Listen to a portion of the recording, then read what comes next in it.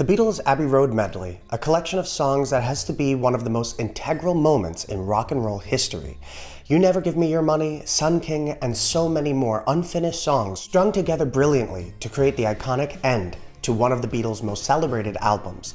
Today, it gives me great joy to show you 10 very interesting facts about the Beatles' Abbey Road Medley, the long one.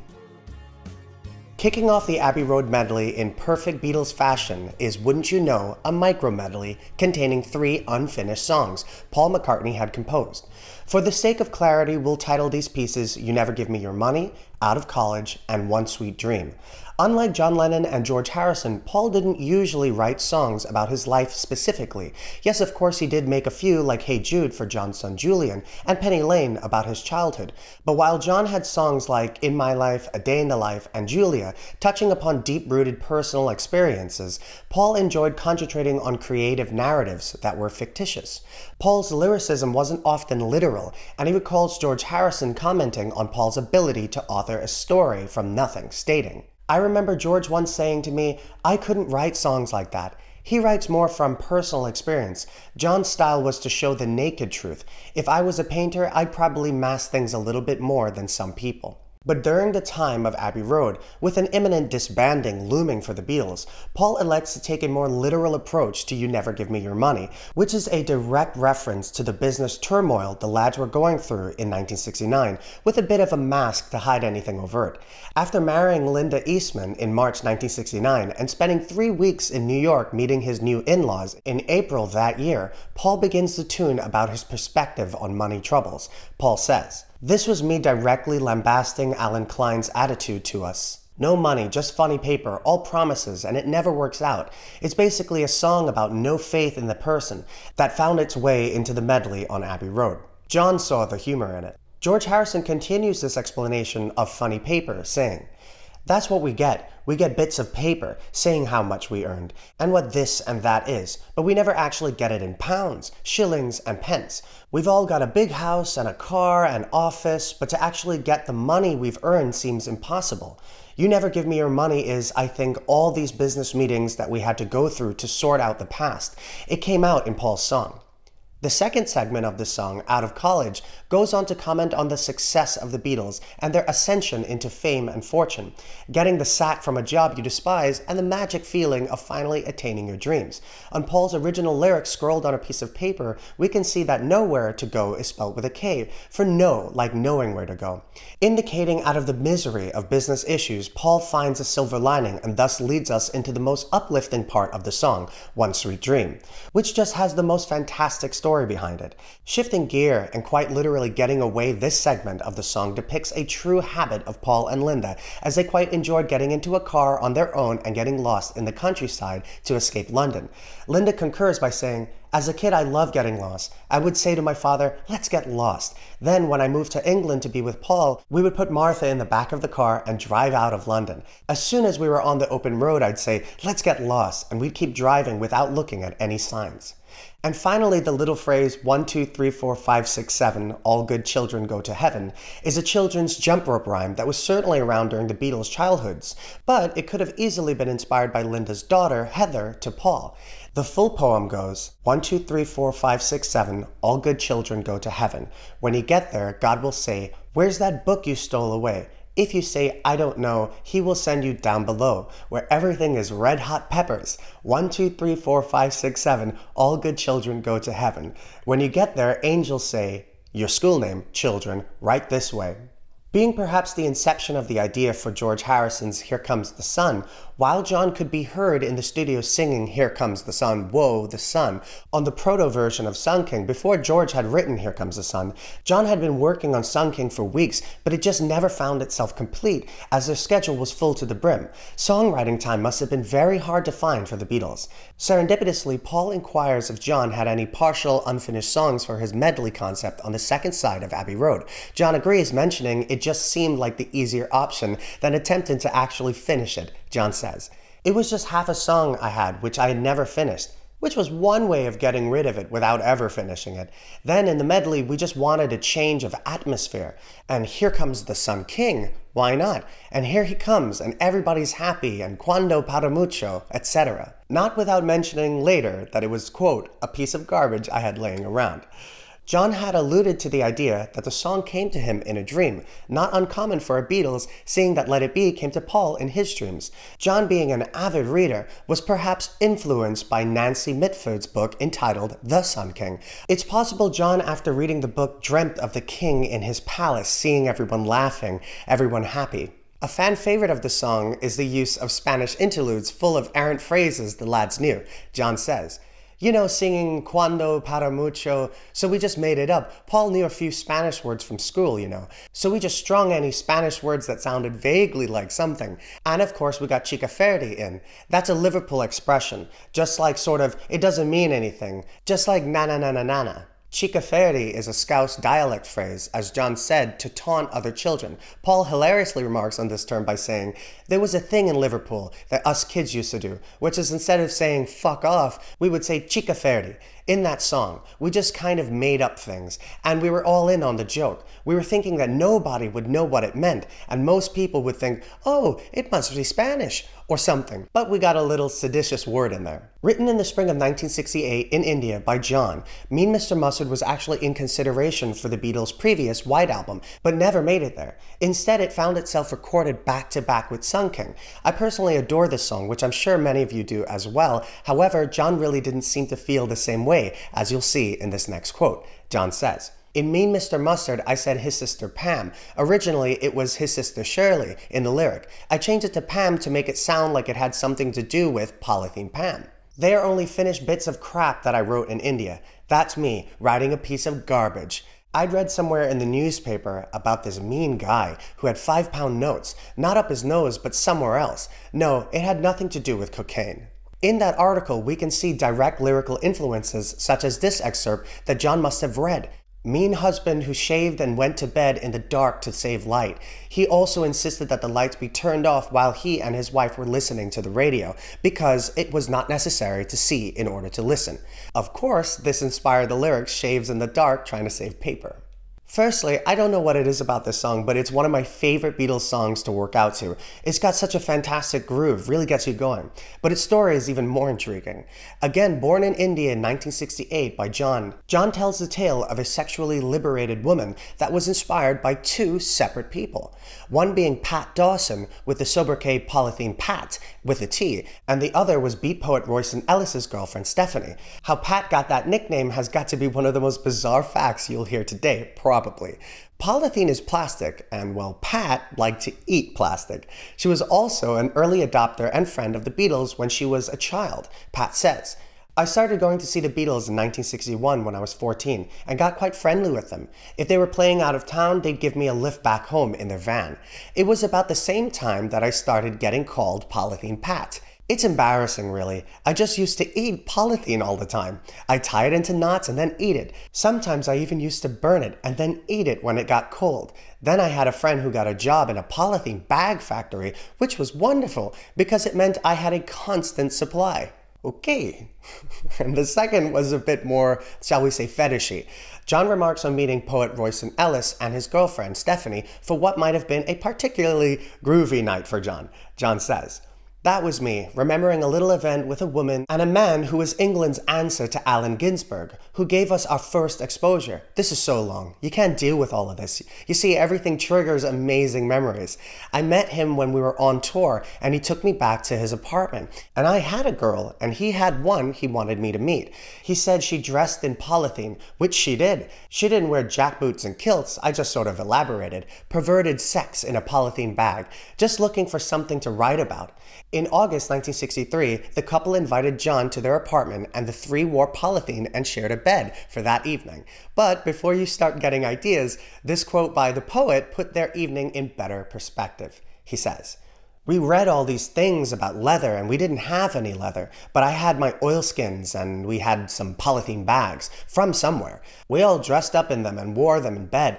John stayed the night with us in the same bed. I don't think anything very exciting happened, and we all wondered what the fun was in being kinky. It was probably more my idea than John's. Polythene Pam and She Came In Through the Bathroom Window were recorded as one in July 1969, inspired by some mischievous fans known as the Apple Scruffs. When Paul would vacate his London home, these kids would literally break into his house and steal his stuff. Jesus Christ, that's terrifying. Anyway, it's believed that some fans found a ladder in his garden and used it to launch themselves through his bathroom window. On one occasion, stealing a photo that Paul held dear to his heart, he even expressed that he would like it returned because of its sentimental value. I don't think it has been, but I'm not sure. It should also be mentioned that the Moody Blues keyboardist Mike Pinder told Paul a story about a girl sneaking into their bandmate's Ray Thomas's room and spending the night with him. Perhaps it's a blend of the two. Furthermore, John Lennon asserts that maybe it was actually about Linda, saying, That's Paul's song. He wrote that when we were in New York announcing Apple. And we first met Linda. Maybe she's the one that came in through the window. I don't know. Somebody came in through the window. But that's pretty vague. For the quitting of the police department in the song, Paul mentions that after his two week stay in New York in a taxi heading to JFK Airport, the final verse just fell in his lap. Paul says, so I got So I Quit the Police Department, which are part of the lyrics to that. This was the great thing about the randomness of it all. If I hadn't been in this guy's cab, or if it had been someone else driving, the song would have been different.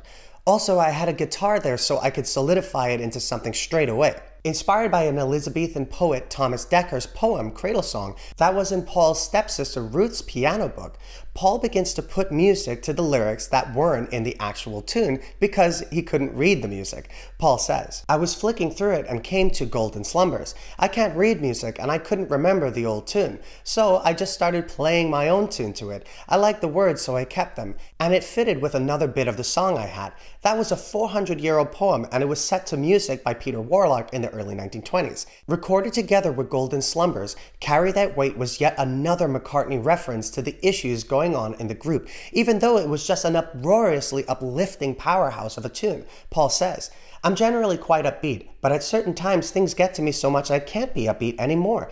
And that was one of those times. We were taking so much acid and doing so much drugs, and all this Klein shit was going on and getting crazier and crazier and crazier. Carry that weight a long time, like forever. That's what I meant. Oh man, this has got to be one of my absolute favorite Beatles song ever. And it really is down to how ecstatic I am over Ringo's drum part. He hated doing drum solos, and to be honest, I'm usually not a big fan of them either, but just the way he composed it was just so special. I mean, you can literally sing this entire drum part. That's not usually the case with drum solos. Without counting Her Majesty, this would have been the final song on the album as the Beatles exit the medley. Geoff Emerick recalls the work it took to get Ringo to do that drum solo. Said, says. The thing that always amused me was how much persuasion it took to get Ringo to play that solo. Usually you have to try to talk drummers out of doing solos. He didn't want to do it, but everybody said, no, no, it'll be fantastic. So he gave in and turned in a bloody marvelous performance. It took a while to get right, and I think Paul helped with some ideas, but it's fantastic. I always want to hear more. That's how good it is. It's so musical. It's not just a drummer going off. And we can't forget about the smashing dueling guitar solos. Each one represents representative of John, George, and Paul's different playing styles. Geoff continues. The idea for guitar solos was very spontaneous, and everybody said, yes, definitely. Well, except for George, who was a little apprehensive at first, but he saw how excited John and Paul were, so he went along with it. Truthfully, I think they rather liked the idea of playing together, not really trying to outdo one another per se, but engaging in some real musical bonding. Yoko was about to go into the studio with John. This was commonplace by now, and he actually told her, No, not now. Let me just do this. It'll just take a minute. That surprised me a bit. Maybe he felt like he was returning to his roots with the boys. Who knows? Paul wanted to end the song with something meaningful, so in Shakespearean fashion, he wrote one of the most beautiful pieces of lyrics the Beatles have ever created. And in the end, the love you take is equal to the love you make. And of course, John Lennon was enamored with that line. But as is the case with John, he couldn't help but get in a little jab at Paul. John says, That's Paul again, the unfinished song, right? We're on Abbey Road, just a piece at the end. He had a line in it, and in the end, the love you get is equal to the love you give, which is a very cosmic philosophical line, which again proves that if he wants to, he can think. John is notorious for his critical comments on the Beatles' music, including his own songs, so his perspective on the medley can't be neglected in this video. John says, Abbey Road was really unfinished songs all stuck together. Everybody praises the album so much, but none of the songs had anything to do with each other. No thread at all, only the fact that we stuck them together. I like the A side. I never liked that sort of pop opera on the other side. I think it's junk. It was just bits of songs thrown together, and I can't remember what some of it is. Come Together is alright, and some things on it. It was a competent album, like Rubber Soul. It was together in that way, but it had no life really. Although John had his issues with the medley, it has to be one of the most integral events to the entirety of the Beatles catalog, proving an unfinished song by the Beatles could carry with it enough charm and talent to create a musical menagerie on the B-side of an album. Each one having so much history and storytelling behind it, it truly shows the power of songwriting when you think outside of the box, and we are all so grateful. Man, Abbey Road is such an incredible album and such a phenomenal medley. I wanted to thank you all for supporting the channel and getting us to 100,000 subscribers. Can you believe it? 100. That's incredible. And I'm just, really, just, words don't cover it. A little bit about me. My family's from Trinidad and Tobago, which is a tiny island off the coast of Venezuela.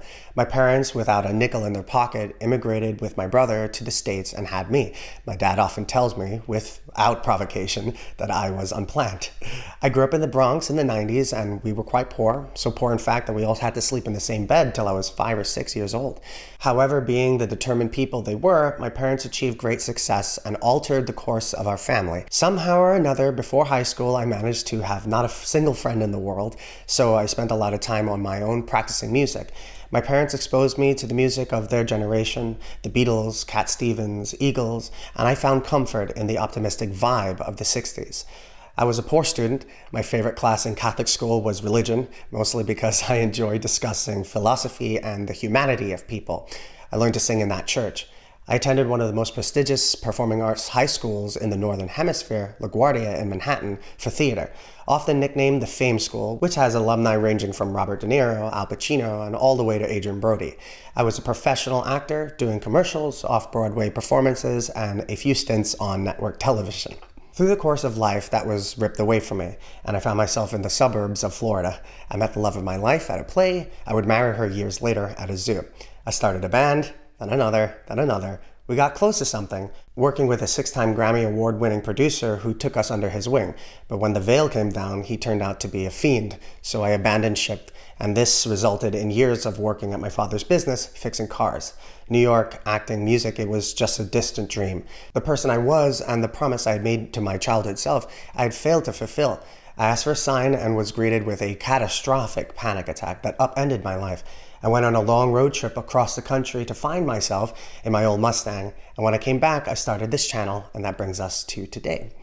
We bought a forest and an antique home, a train ride away from Manhattan so I could pursue acting all over again. But unfortunately for most of us, the virus has put the brakes on this endeavor for now. But I made a new promise to myself that I knew I could accomplish. It's that whatever it is I'm looking for, I promise I'm going to die trying to find it. So that's the story of me and here are some of my favorite clips from the channel. We've done a few covers.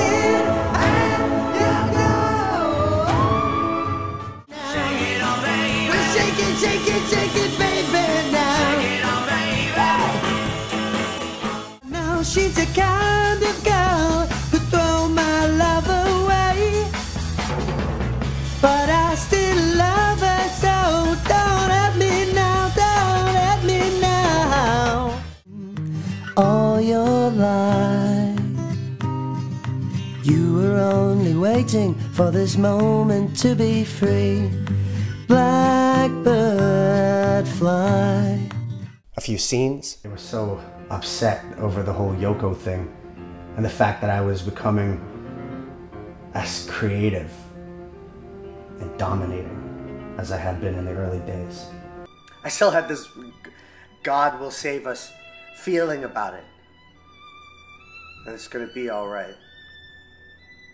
That's why I did it. I wanted to talk. I wanted to say my piece about revolution. I, I wanted to tell you, or whoever's listening, I wanted to say, what do you say?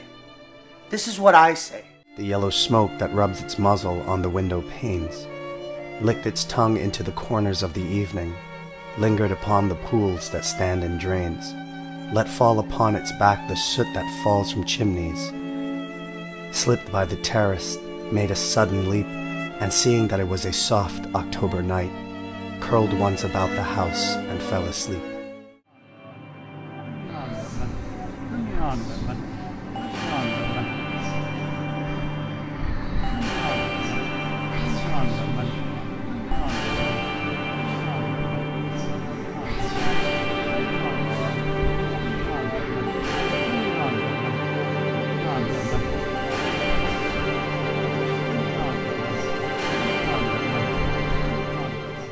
Work with some of my best friends, having a laugh.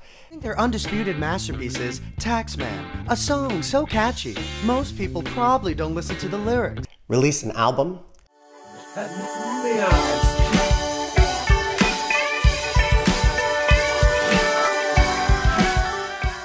And been to many places. I'd like to thank my brothers Rishi and Josh, my mother and father, and my wife's parents, best friends Brad for being my scene partner, Dan for producing my music, and Steph for putting us on the Abbey Road wall, Leah Robins, our contributing author and social media manager, and of course my lovely wife Lindsay, who is literally the only reason this was possible. I thank you all for this opportunity to share my music, my interests, and the community that has welcomed me regardless of my many shortcomings. I don't know what the future has in store for me, but whatever it is, I know I won't have to face it alone. I hope you enjoyed the video and thank you once more for this incredible milestone. See you next time.